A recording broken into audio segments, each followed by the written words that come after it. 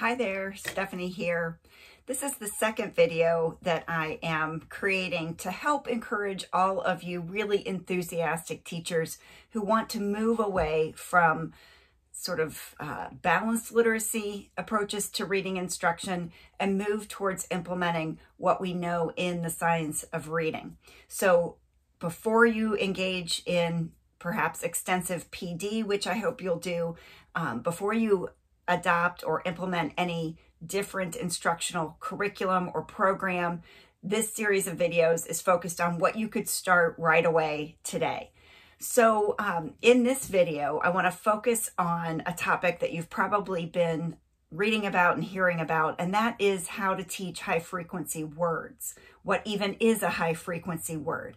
Probably about 15 years ago, Linda Farrell introduced me to this concept of a new way to teach high frequency words.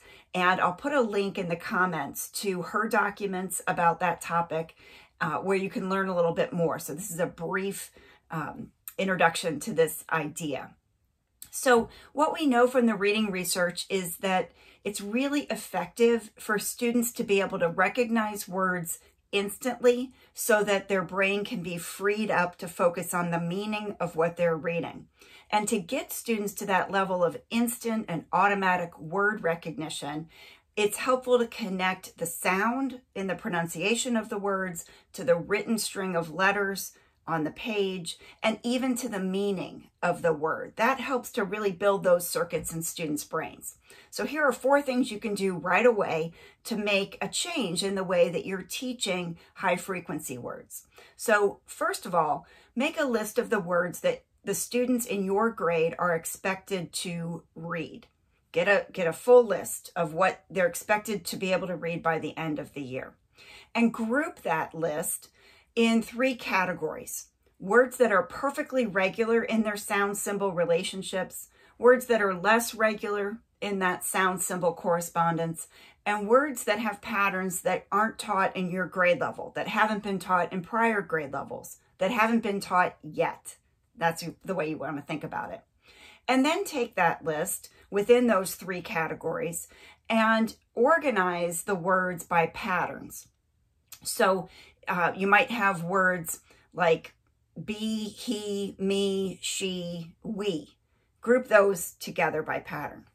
And then the next two suggestions kind of go together. So um, number three would be to integrate those words in the regular category, regular sound symbol relationships, integrate those into your phonics instruction.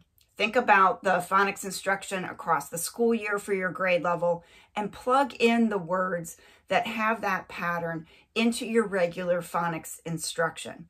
And as much as possible when you're teaching phonics, try to really emphasize that sound symbol relationship. You can do that with Elkonin boxes, with sound box strips, starting by students tapping the sounds in words and then using the letters that represent those sounds.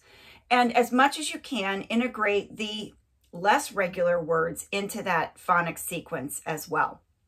And then sort of related to that, number four would be as you are um, engaging students in reading text, look at the words in that story. And if there are any of the high frequency words on your grade level list, pre-teach those before students read that story. So even if you're in a district that insists that you use leveled readers, you can start with this approach, just paying more attention to the patterns in words, uh, thinking about organizing them and integrating them into your phonics instruction, and also um, pre-teaching the words that are going to appear in the stories that your students are reading. So this is a, a new approach, perhaps for many of you, or a different way of thinking about high frequency words that goes beyond just simply rote memorization of the words and really recognizes that on lists that are commonly used, like the Dolch list, upwards of 60% of those words are perfectly regular and decodable. So let's take advantage of that when we're teaching our students.